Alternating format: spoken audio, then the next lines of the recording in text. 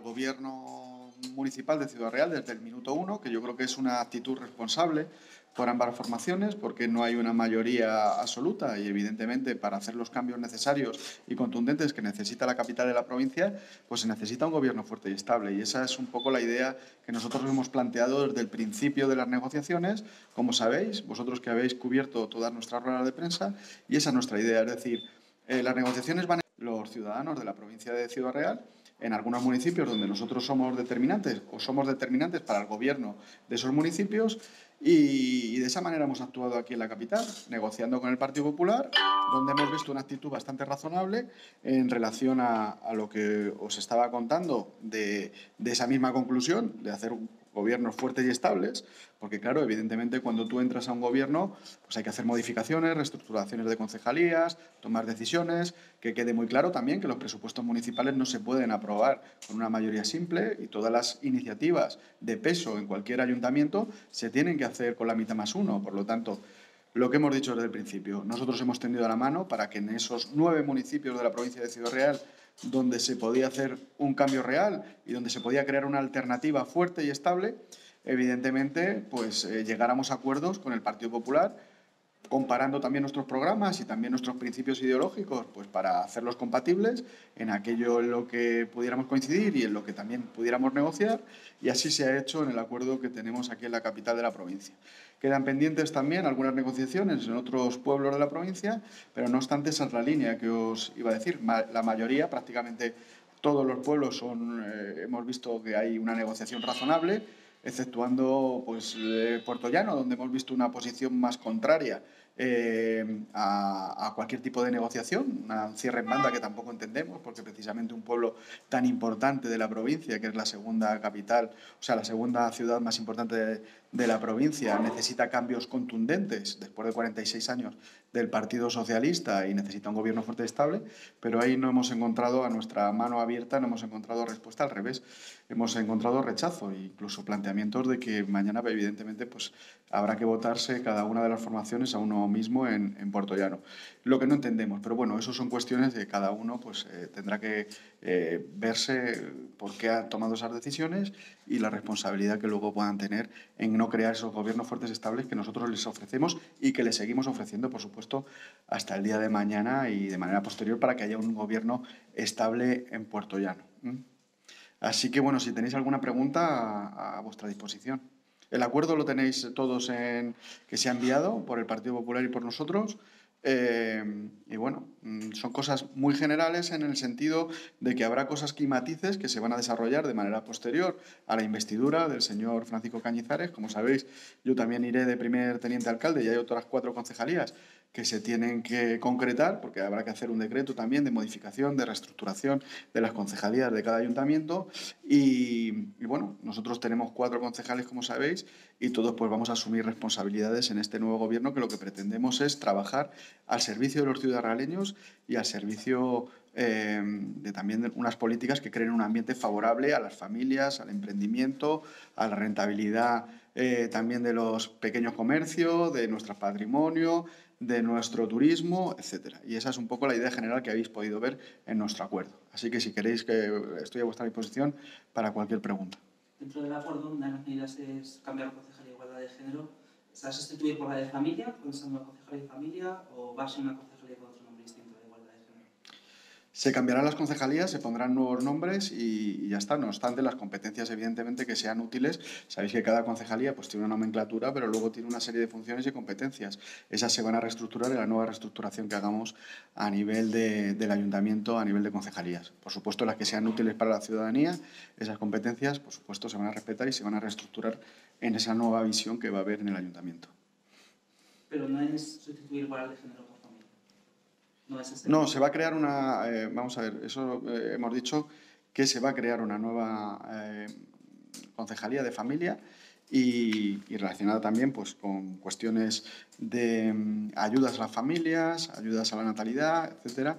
Pero bueno, todo eso no lo hemos concretado porque se tiene que ponerse en un decreto y lo que viene en el acuerdo es lo que, lo que viene. Todas esas cosas, esas, esas cosas pormenorizadas se verán un poco en el desarrollo del día a día, que es donde se sustanciará los acuerdos generales en los cuales hemos llegado en este documento.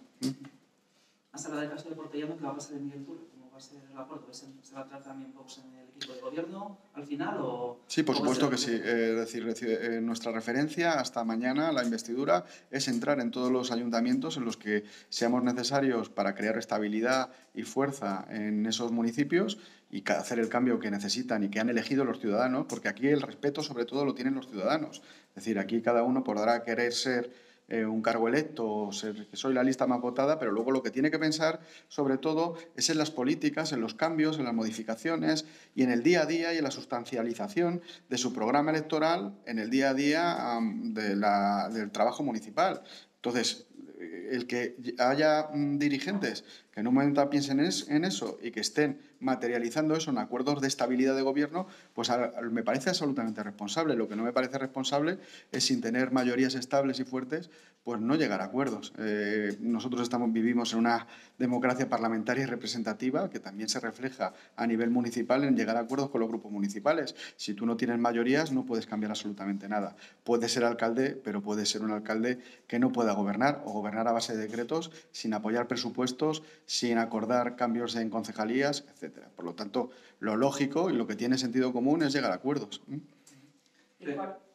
¿cuál ha sido el impedimento en Puerto Llano? Eh, si puede concretar un poco más. Es que no lo sabemos, es una cuestión directamente del alcalde que tiene su mayoría simple, que no tiene mayoría absoluta y que en las distintas entrevistas pues, ha dicho que no quiere el apoyo, el apoyo de, de Vox. Eh, o sea que, bueno, no lo sabemos. Lo que pasa es que no lo entendemos, es lo que decimos anteriormente. Eh, yo no, no, entiendo que en un momento dado, pues una persona que ha sido elegida por los ciudadanos, que es verdad que tiene una mayoría bastante amplia, pero le falta que no llegue a acuerdos con el resto de grupos municipales para hacer los cambios necesarios desde el punto de vista político que necesita un ayuntamiento tan importante como es Puerto Llano. Pero bueno, esas son cuestiones que las que yo no puedo opinar, porque cada uno tiene su forma de actuar y su visión a nivel municipal. A lo mejor tiene acuerdos con otros grupos. No sé si tendrá algún acuerdo con el PSOE, con Izquierda Unida, porque no sé qué reestructuración puede hacer desde el punto de vista municipal o cómo puede aprobar unos presupuestos sin una mayoría absoluta. Pero bueno, eso ya vuelvo a repetir, que no, no es una cuestión que yo entienda. Yo lo único que podemos hacer es que en la medida de lo que nosotros podemos hacer, tender la mano para llegar a esos acuerdos estables que den fuerza y estabilidad al, al Ayuntamiento de Puerto Llano y a otros ayuntamientos de la provincia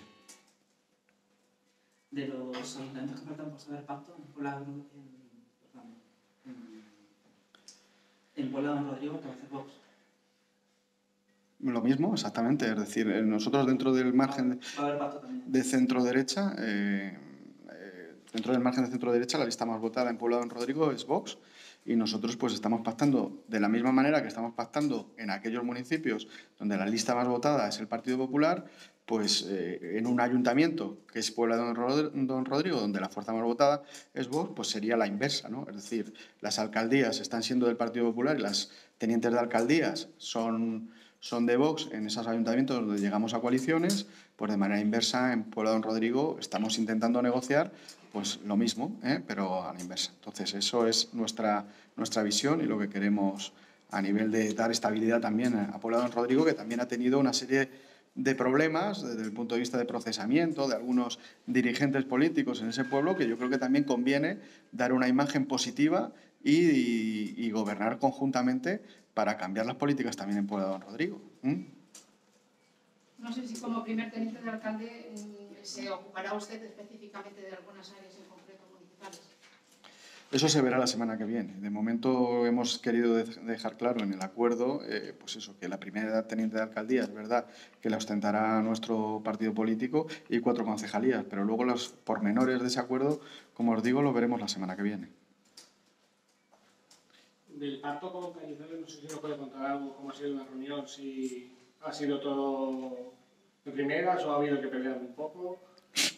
Bueno, eh, eh, perdona que no, eh, yo creo que como todas las negociaciones al final, pues evidentemente, pero vamos, yo creo que ha sido bastante cordial, ha sido bastante razonable todas las negociaciones y yo creo que han ido como, como tenían que ir. Entonces ahí sí que agradezco que han sido cosas mm, muy normales y ha habido una negociación buena. Es verdad que en otros sitios pues hay otras... Tensiones y tal, pero bueno, yo creo que aquí teníamos claro, eh, sobre todo, lo que os he dicho antes. Yo creo que si tú tienes experiencia también a nivel político, ¿sabes? Eh, puede ser que haya determinados eh, políticos que han entrado ahora mismo en concejalías que no tengan esa experiencia, pero el que tiene experiencia a nivel municipal o a nivel político sabe que lo importante es que desde el primer minuto pues haya una estabilidad y haya con los socios con los que tienes que gobernar durante 40 años, o sea, durante cuatro años, pues tienes que llevarte bien y llegar a acuerdos y tal. Entonces, como somos personas eh, en general razonables y, somos gente normal, eh, lo que queremos es el bien de los ciudadanos, que para eso nos hemos presentado a, las, elecciones. Entonces, para eso es necesario crear eh, gobiernos fuertes y matizar pues, determinadas diferencias que pueda haber por el bien de, los ciudadanos, de Ciudad Real y de otros municipios y de la provincia. Sí, yo Ricardo le quería preguntar, eh, porque ha comentado ya el presidente del Partido Popular que había iniciado las conversaciones con Luis Vázquez sobre la gobernabilidad de la Diputación Provincial, que nos puede avanzar.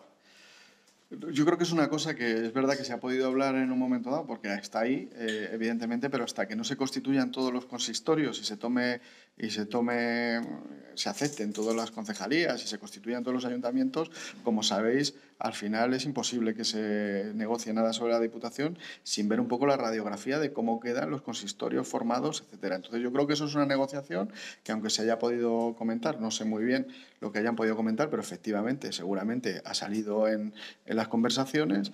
Eh, eso es una cuestión que se tendrá que negociar de manera posterior a lo que pase este sábado. ¿eh? Por lo tanto, ahí también esa radiografía, esa responsabilidad, eso de si queremos formar gobiernos fuertes y estables a favor de los ciudadanos, también en un momento dado condiciona esa actitud para lo mismo ocurre en la, Diputación. Es decir, queremos también cambiar las cosas en la Diputación y una cosa también lleva a la otra. Entonces, esa actitud que estamos teniendo ahora, que va a ser eh, clave para toda la legislatura, también será clave para la visión que tengamos eh, de cambio en la Diputación. En cualquier caso, esas conversaciones ya están de alguna manera en marcha y es probable que, lleguéis a un acuerdo como se ha llevado a un acuerdo en otros ayuntamientos. Es decir, que el presidente de la Diputación pueda, ser, ostentar el, Partido Popular.